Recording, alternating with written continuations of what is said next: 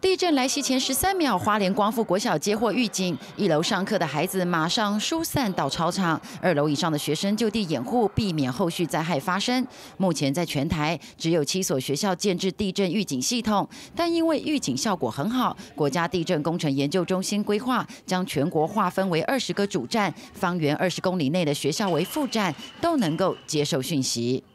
二十公里半径内，我们只要设一个主站就好。我们把讯息，譬如说我透过网络的方式传给隔壁的学校，那这样应该会在一两秒的时间内可以传达，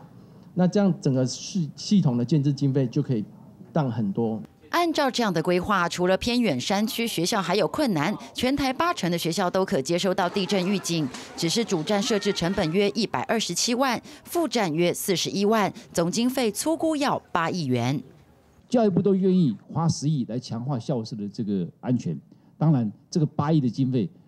牵涉到全国学生的这个十三秒的这个逃命时间，我想更是急迫性，更是需求性更大哈。学生一年有九个月在学校，白天的活动也几乎在校园。立委认为应该紧速推动校园强震即时警报系统，保障学生安全。记者林小慧、沈志明台北报道。